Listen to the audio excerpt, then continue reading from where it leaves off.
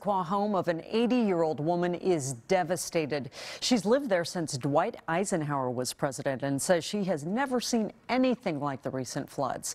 KIRO 7's Gary Horcher is live now in Issaquah. And Gary, after living there for generations, she figured her home was safe. Well, Linda Linden bought her house here along Issaquah Hobart Road, Monique, when the Seattle World's Fair was still being planned in 1961. So, yeah, history was kind to her and she did feel safe.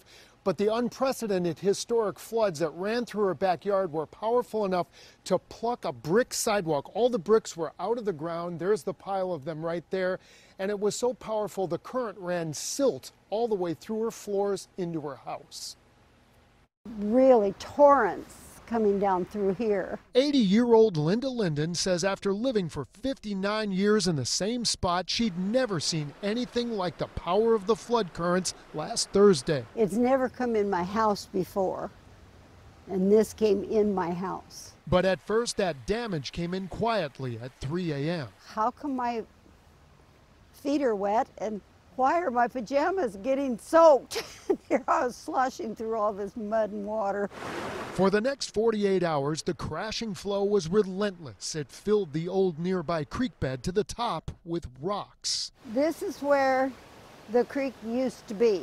You would never know there was a creek there ever. Nope. She pointed out to us where the creek bed carved a completely new path, and that destructive path led right into the home she bought in 1961. The water came to here. And the silty flow reached places. And down the hallway. Where it had never been before. And now Linda needs new floors and a lot of repairs, and insurance won't cover it. She does everything for anybody that'll ask. And even those who don't. Linda's always helped anyone in need. She volunteered in Paradise, California after after the wildfires, and she has always helped her neighbors. So neighbors are going to help her now. In the last couple of days, people have anonymously donated to help Linda stay in her flood damaged home. I cry because of the generosity of people.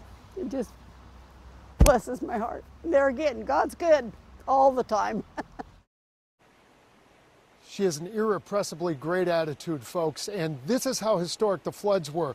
This little bridge had part of the Issaquah Creek tributary running underneath it, and had four feet of clearance for about 50 something years, right? Well, you can see soil and river rock has packed it to the top. The, everything has been rerouted. So now she has to have a retaining wall put out here to keep future floods out. She has to have all of her floors gutted. If you want to help her out, we put her information on our website, KIRO7.com. And we're live astride the Issaquah Creek here in Issaquah. I'm Gary Horcher, KIRO 7 News. Oh.